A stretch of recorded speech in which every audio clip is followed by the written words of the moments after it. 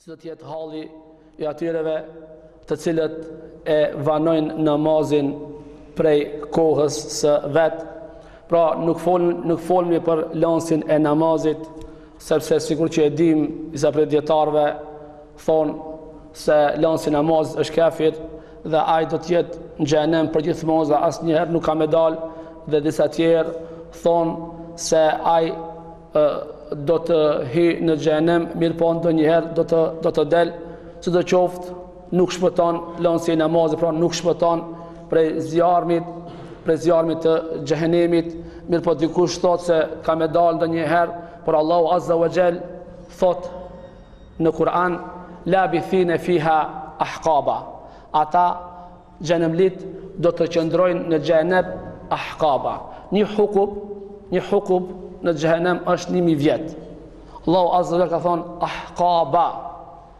Shumë hukuba. Pra vetëm një sekond me u djeg, vetëm një minutë me u djeg, s'durohet zjarmi i xhehenemit e si do të jetë halli i pra i xhehenemlive, të cilët labithine fiha ahkaba kanë m'u, kanë m'u djeg në xhehenem, pra shumë hukuba. Pra një hukub është vetëm se një mijë vjet. Si do të jetë halli i atij i cili e vanon namazin prej vaktit të vet. Pra, namaz kaza, këtë duhet me haru se nuk ka namaz kaza. Sepse të gjitha argumentet nga Kur'ani dhe nga Suneti tregojnë se duhet të fal, falet namazi në kohën e vet. Por, nëse ndonjëherë ndodh që të zën gjumi, i ke marrë të gjitha sebebet. E ke kurdis sahatin, e ke angazhu dikanë me të çu, dhe të ka ndodh që nuk je çu në kohën e sabahit, je çu ma vonë, atëherë ka thonë Pejgamberi alayhis salam fale, se at, atëherë është koha e vet. Ose ndonjëherë ke haru ta falësh ndonjë namaz, kur të kujtohet, fale, sepse që atëherë është koha e vet. Mirëpo, assesi me qëllim, besimtari nuk guxon ta falë drekën në kohën e ikindisë. As ikindinë në kohën e akshamit. As sabahun qëllimisht ta falen në 8 apo 9 apo në 7. Sepse Allahu Azza wa Jall thot në Kur'anin famëlartë Fa khalafa min ba'dim khalfun adha'u as-salat Wattaba'u ash-shahawat fasawfa yalqawna al-ghaya. Thot mas njerëzve të mirë, pra pasi që Allahu Azza wa Jall i përmend pejgamberët e lartë, i përmend Nuhin alayhis salam, Ibrahim alayhis salam, Isa alayhis salam, Musa alayhis salam, thot erdhën njerëzit të këqij. Pra kush janë ata njerëz të këqij? Adau salat, e humbën namazin. Pra ata njerëz të cilët e vonojnë namazin prej kohës së vet, kanë ardh mbrapa pejgamberlerëve, Allahu azza wa jall thot erdhën njerëz të këqij. Adau salat do me thot akharuha an waqtiha. E kanë vonu namazin prej kohës së vet.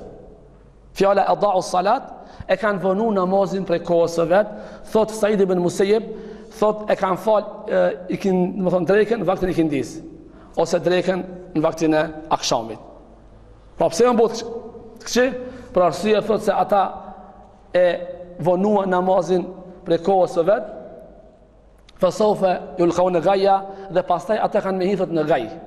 Çka është gaj? Gaj është një lugin në, në zjarr të xhenemit që aty kanë me hi ata të cilët e vonojnë namazin. Dhe aty do të jetë shumë fell dhe erën e ka shumë të, të keqe sikur se ka ardhur në tefsirin, në komentin e këtij ajetit.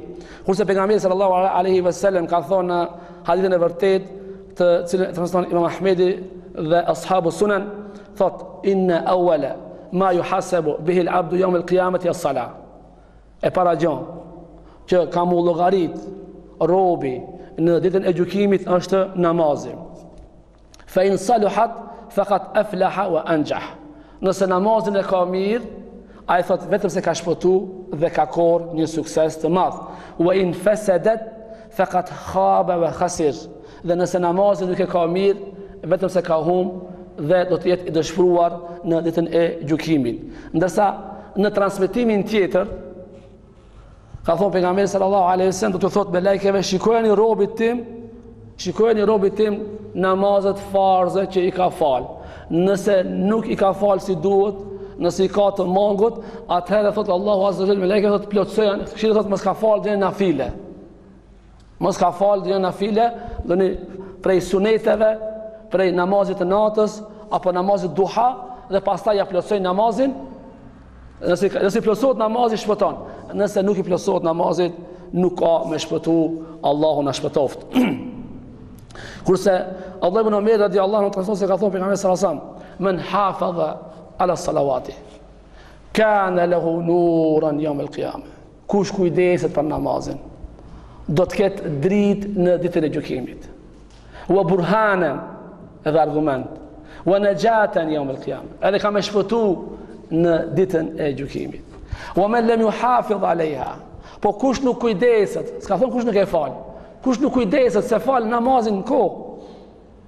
S'e ka dert. Se Allahu azza wa jalla të ka urdhnu. Urdhri i Allahut.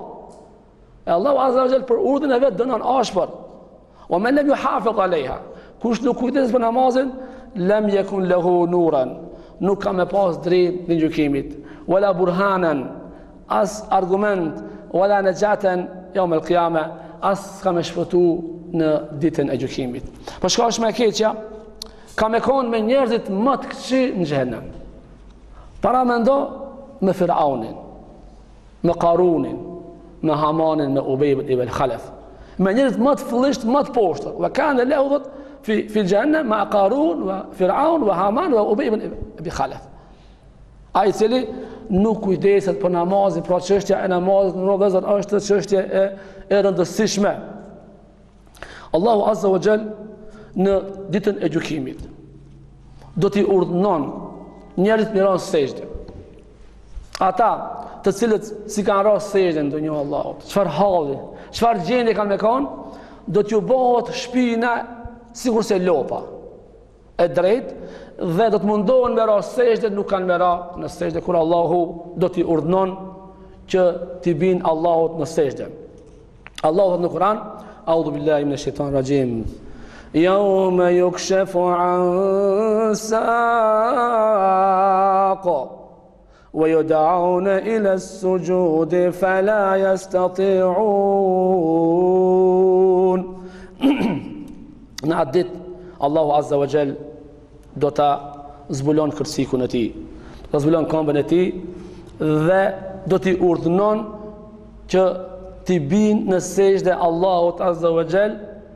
Mirëpo disa njerëz fela jestati'un, nuk munden me ra në sejdë. Besimtarët, të cilët kanë qenë të sinqertë, kanë ra sejdë Allahut Azza wa Jall, menjëherë kanë me ra në sejdë.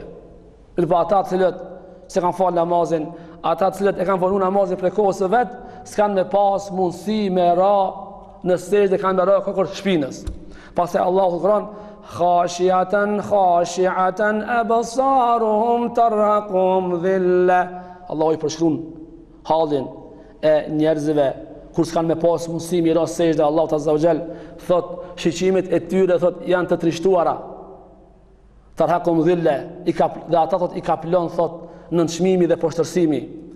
Wa qad kanu yud'un ila as-sujud wa hum salimun. Ata ishin kanë të urdhnuar në dunja, duke qenë të shëndosh, salimun, duke pas shëndet. Ishin të urdhnuar me i ra sejdë Allahut Azza wa Jall duke pas shëndet, duke pas pasuri, duke pas të mira, duke pas ujë të nxehtë për marr abdes. Duke pas xhamia komode për t'u falur.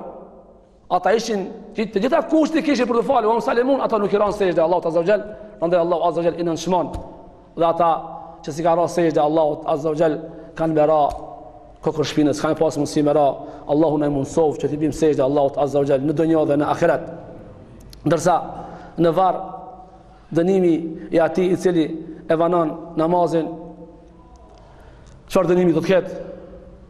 Thot pejgamberi sallallahu alaihi wasallam hadithin e gat që është ëndra e pejgamberit sallallahu alaihi wasallam më morën thot di veta dhe më më thanë eja me mu dhe heca me ata dhe rrugës pashë një njeri i cili ishte i shtrim dhe tjetri ishte në këmbë e kishte marrë një gur të madh dhe ia mshonte në domethënë në krije dhe krija ju coptohej, coptohej dhe guri rrokullisej dhe pastaj shkon ai tjetri duke e marr gurin, krija përsëri domethënë kompletohet dhe përsëri kështu ia mshon, krija coptohet dhe guri rrokulliset kështu domethënë bëhet dënohet ai i cili e, e ka vanu namazin pejgamberi sallallahu alaihi wasallam u trishtu Dhe pastaj i pyeti këta në fund të hadithit, thot kush ishin, kush ish ai personi? Ata i thon, ai personi është ai i cili thot ka flejt gjatë kohës së namazit. Ka flejt gjatë kohës së namazit dhe ai personi është ai i cili e ka msu Kur'anin dhe s'ka vepru sipas Kur'anit. E ka msu Kur'anin dhe nuk ka lexuar Kur'an, nuk ka recitu dhe nuk ka vepruar sipas Kur'anit. Pra kështu është dënimi në varr i atij personit i cili fle gjatë kohës së namazit, pse do t'i dënohet kria për arsye se me thon me mend ka mendu ka thon haj ka thon të flejë pushoj. Sa ka marr guximin që të shohë të falë namaz a thon, prandaj Allahu azza wa jall e dënon për këtë vepër sepse ka bërë për sepse ka kry urdhnin e Allahut azza wa jall. Allahu na ruajt dhe na drejtoftë.